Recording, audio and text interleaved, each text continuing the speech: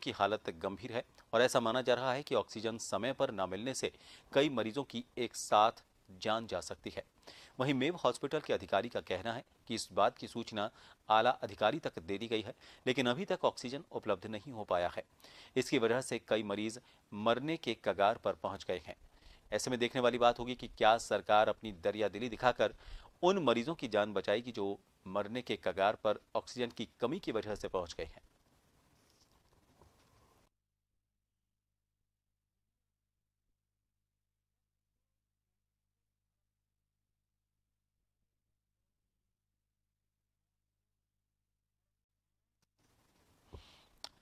एक तरफ़ यूपी की राजधानी लखनऊ में कोरोना तेज़ी से पैर पसार रहा है, वहीं कोरोना के मरीजों को ऑक्सीजन की भारी किल्लत से जूझना पड़ रहा है।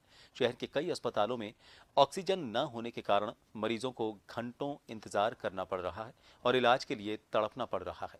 कई अस्पतालों में किल्लत के बाद मरीजों के परिजन के सामने कोई रास्ता नहीं बचा है और यही वजह है कि परिजन इधर से उधर सिर्फ़ ऑक्सीजन सिलेंडर भरवाने के लिए दौड़ रहे हैं।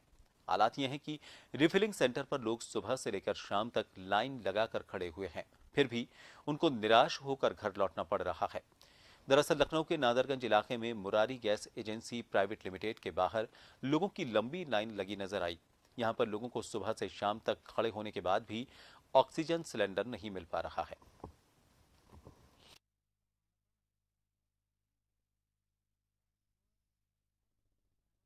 कोरोना के मरीज़ तेज़ी से शहर में बढ़ रहे हैं तो वहीं दूसरी ओर ऑक्सीजन की दिन पर दिन कमी होती जा रही है। यहाँ इस वक्त हम नादरगंज के लखनऊ के नादरगंज इलाके में खड़े हुए हैं और यहाँ पे आ, मुरारी गैस प्राइवेट एजेंसी के सामने हैं और यहाँ पे मेरे साथ एक शख्स आया हुआ है जो कि गैस लेने के लिए बड़ी दिक्कत बड़ी किल्लत सामने आ रही है। जी आपका नाम क्या भैया? आशीष। आशीष जी आप यहाँ कितनी देर से खड़े हैं? अभी यहाँ पे एक घंटे के ऊपर हो गया। कल भी हम लोग यहाँ पे थे कल आठ बजे से रात के तीन बजे तक हम लोग यहीं पे थे। आपको पेशेंट कहाँ पे एडमिट है? एडमिट नहीं किया कहीं किसी हॉस्पिटल में दो दिन लेके सब हॉस्पिटल हॉस्पिटल घूमे कि कहीं एडमिट नहीं क्या यहाँ से आपको गैस मिली? यहाँ से ऑक्सीजन मिला आपको? एक बार मिला है। और फिर अभी अगर आए तो कितना टाइम इन्होंने बताया है? अभी कोई टाइम नहीं बताया अभी तो मना ही कर दे रहे हैं। तो जैसे कि देखना, जैसे कि आपने देखा बताना चाहेंगे कि इस वक्त हालात जो हैं बड़े ही बदतर होते चले जा रहे हैं। ज़िले शासन और प्रशासन की जो बनाई गई योजना है, वो पूरी तरह से फेल साबित हो रही है। ऐसे में देखने वाली बात ये होगी, इन लोगों कब, इन लोगों को निजात कब मिलेगी?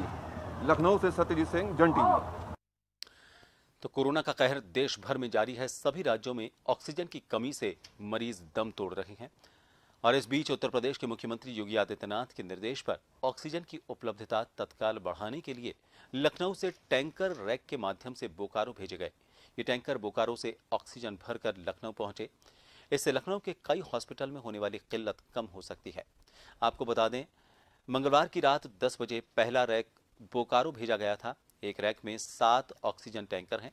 ऑक्सीजन एक्सप्रेस लखनऊ से बोकारो की 805 किलोमीटर की दूरी तय कर वापस लखनऊ स्टेशन पहुँची।